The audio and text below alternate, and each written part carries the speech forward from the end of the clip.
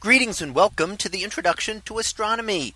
One of the things that I like to do in each of my introductory astronomy classes is to begin the class with the astronomy picture of the day from the NASA website that is apod.nasa.gov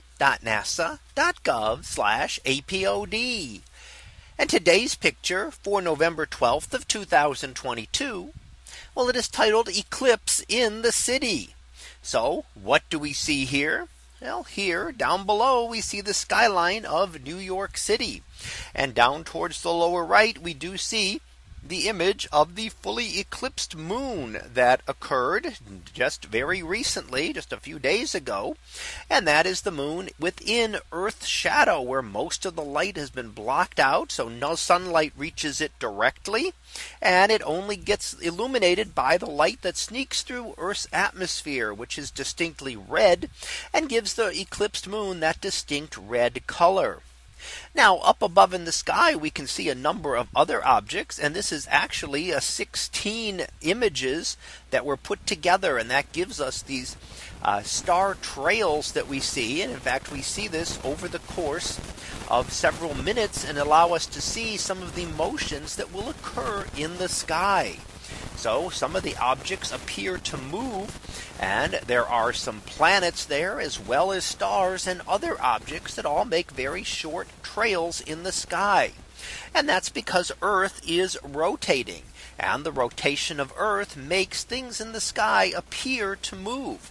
Earth rotates from west to east, making everything appear to rise in the east and set in the west. So up above we can see Mars a little bit to the left of center we can see the constellation of Orion and off to the left hand side we can see the bright star Sirius the brightest star in the night sky. To the right, we see the Pleiades and the constellation of Taurus. Pleiades is an open star cluster there just above the eclipsed moon. Now the longer streaks that we see are two objects much closer to Earth than the others that we look at here.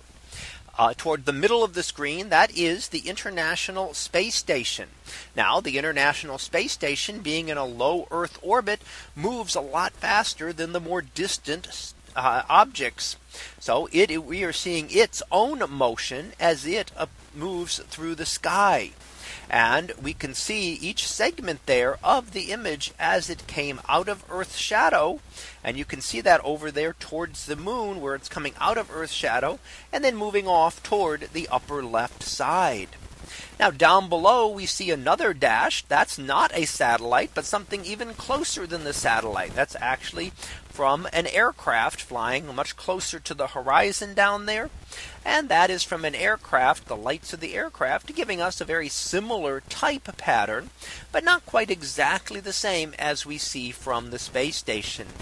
So here above the skyline of New York City, we see the constellations of Orion and Taurus, the star cluster known as the Pleiades, the bright star Sirius, the planet Mars, and the International Space Station as they move across the sky. So that was our picture of the day for November 12th of 2022. It was titled Eclipse in the City. We'll be back again tomorrow for the next picture previewed to be identified flying object. So we'll see what that is about tomorrow. And until then, have a great day, everyone. And I will see you in class.